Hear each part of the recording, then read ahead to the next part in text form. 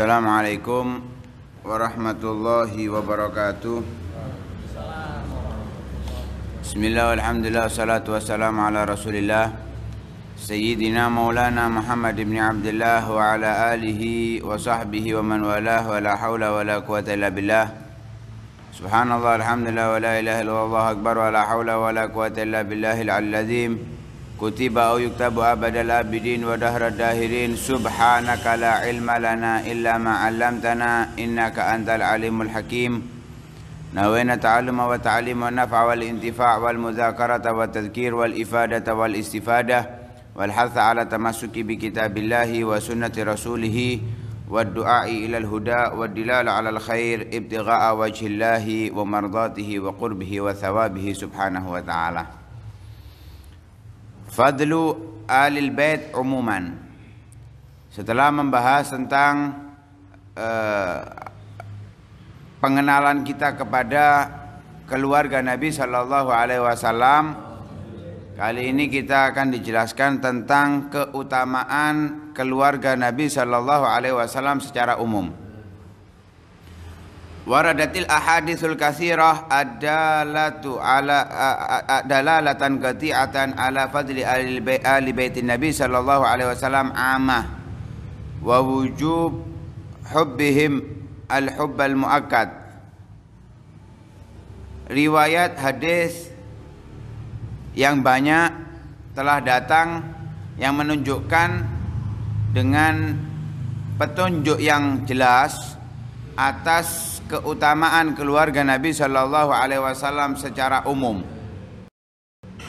bukan perorangan ya. ini secara umum dia keluarga Nabi Shallallahu Alaihi Wasallam memiliki kemuliaan keutamaan dengan riwayat hadis-hadis dan di dalam riwayat tersebut menunjukkan bahwa kewajiban bagi kita untuk mencintai mereka dengan cinta yang sangat kuat.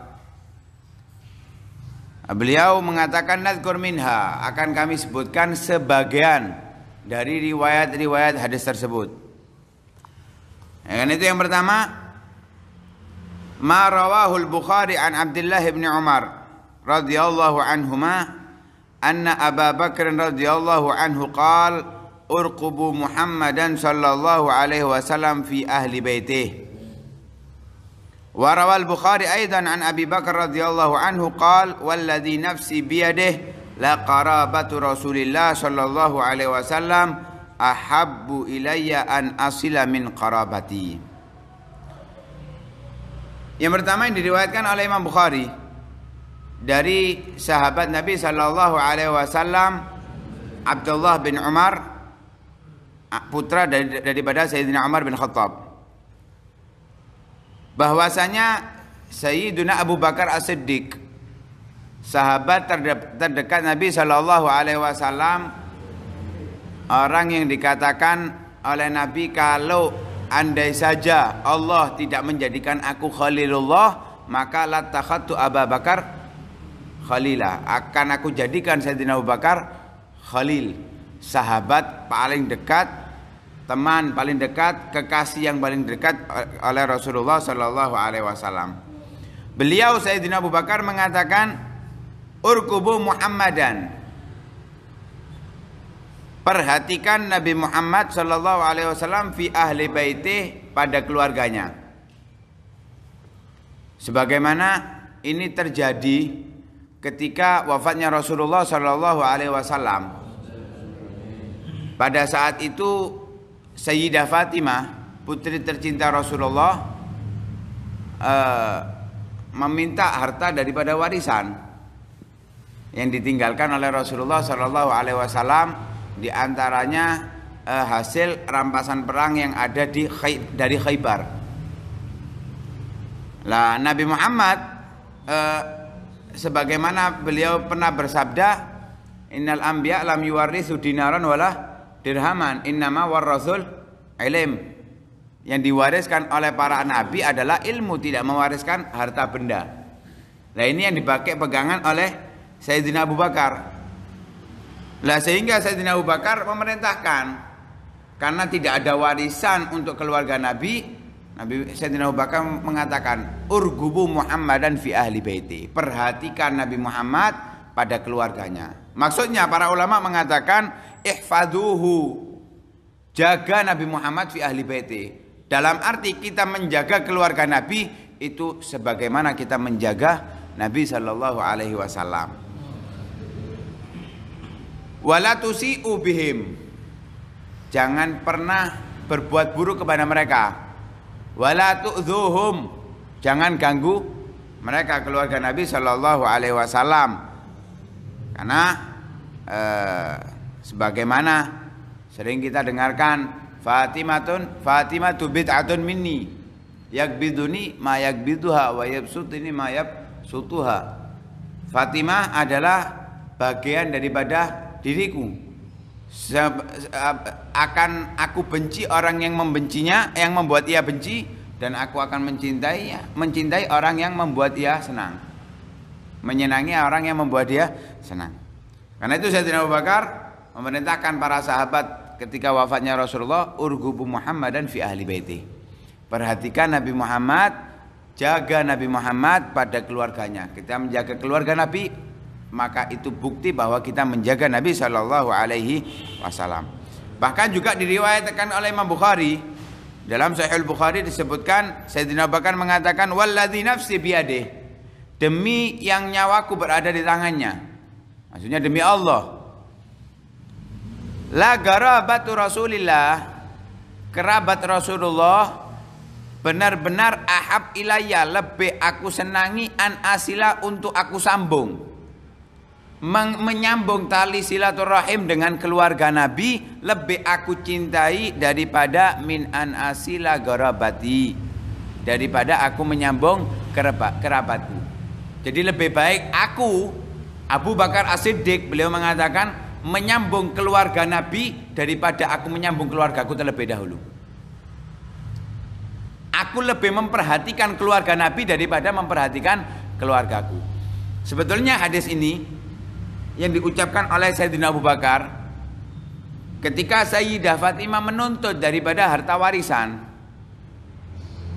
maka selain menggunakan dalil bahwa Nabi tidak mewariskan harta akan tetapi yang diwariskan ilmu Sayyidina Abu Bakar menyatakan kalimat tersebut menggambarkan bukan aku tidak mau memberikan harta yang ditinggal oleh Rasulullah untuk keluarganya tapi memang ini bukan haknya untuk keluarga Nabi tapi hak untuk masalihul muslimin.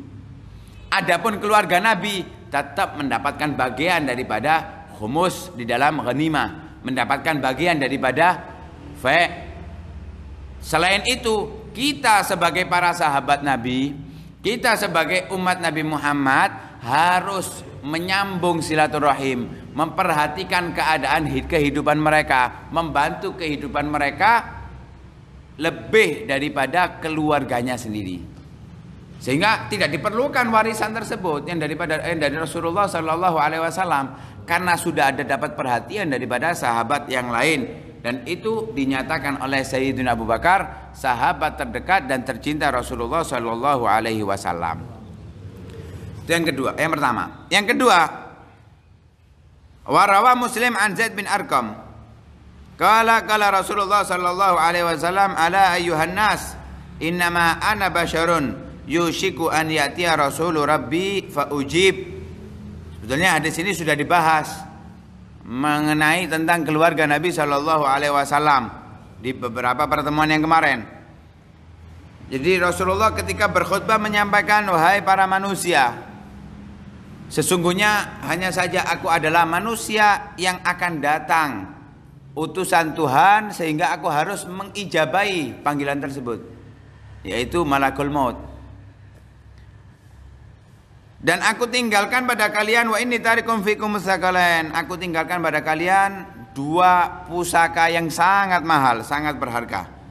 Awaluhuma atau awalihima atau awalahuma kitab Allah kitab uh, uh, fihil huda wan nur yang pertama adalah Al-Quran karena dalam Al-Quran ada petunjuk dan cahaya sebagaimana ayat-ayat Al-Quran yang lain dalika hudan lil muttaqin dan yang lain sebagainya daripada ayat-ayat yang menunjukkan makna Al-Quran kandungan Al-Qur'an adalah hudan, petunjuk, wanur, cahaya yang bisa menerangi hati kita menuju jalan yang baik. Sehingga Rasul mengatakan fakhudhu bi kitabillahi wasamsiku.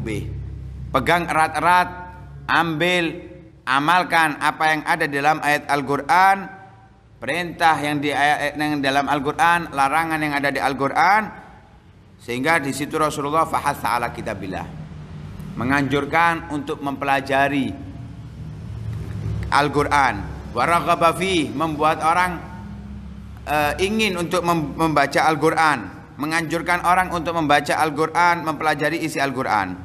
Semakal kemudian Rasulullah mengatakan wa ahlu wa ahla baiti. Yang kedua, hal yang mata pusaka yang mahal yang berharga adalah keluargaku Udzakirukumullah fi ahli fi ahli baiti. Udzakirukumullah fi ahli baiti. Udzakirukumullah fi ahli baiti.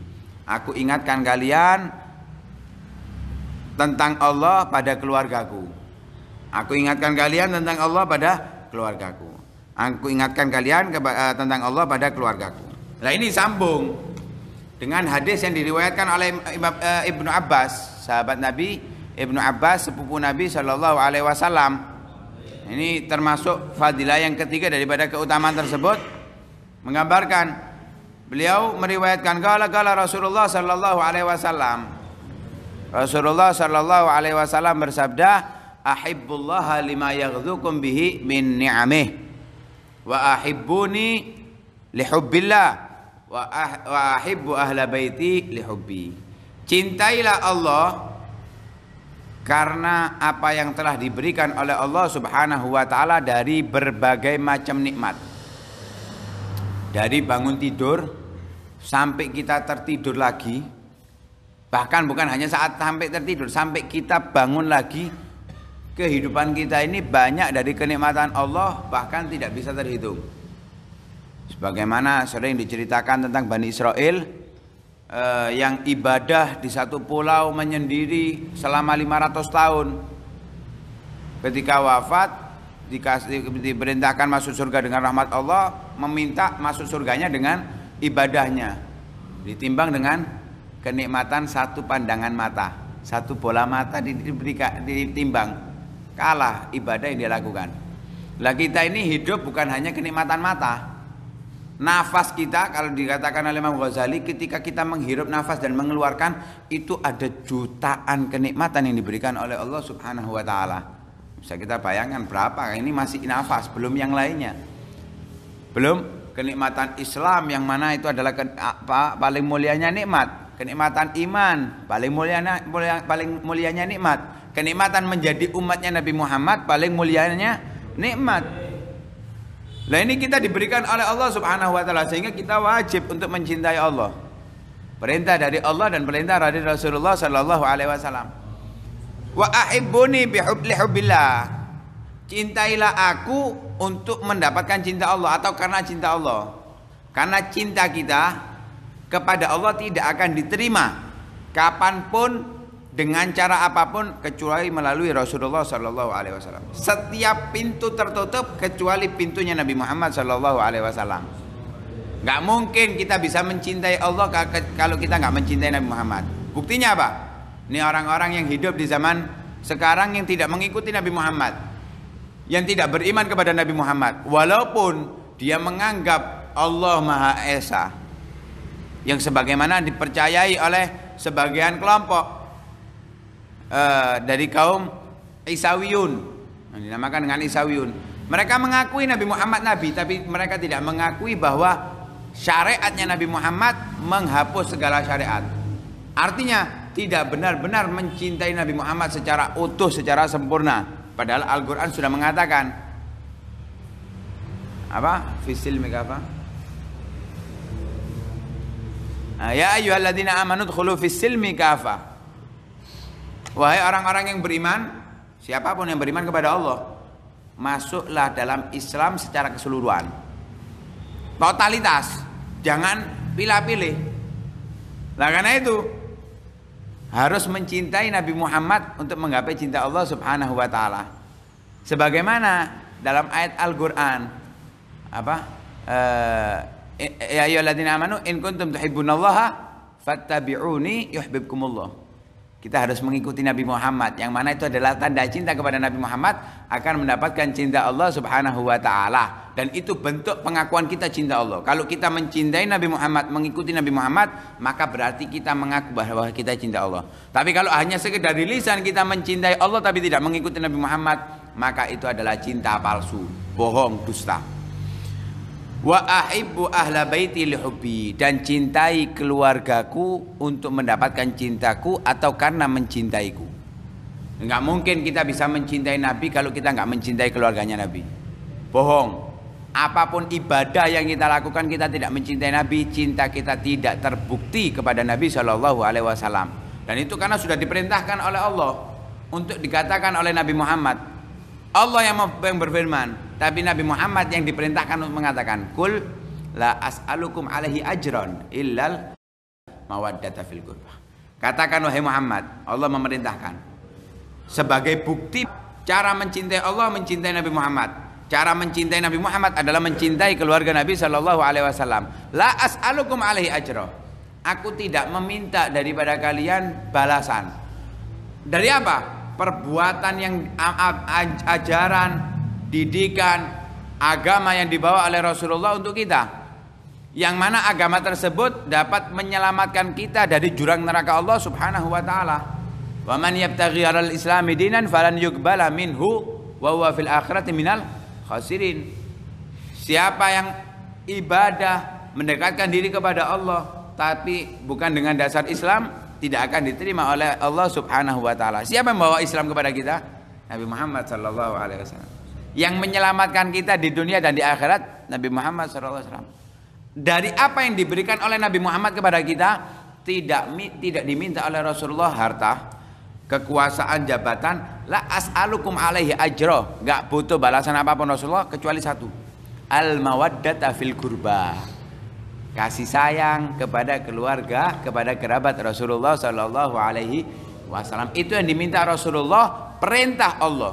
Artinya ini yang diinginkan oleh Allah kita sebagai umat Nabi Muhammad mencintai keluarga Nabi sebagai syarat mencintai Nabi dan mencintai Nabi sebagai syarat mencintai Allah Subhanahu wa taala. Nah, karena itu dengan tiga yang kita sebutkan tadi keistimewaan kemuliaan keluarga Nabi Shallallahu alaihi wasallam hendaknya kita pikirkan kepada kita.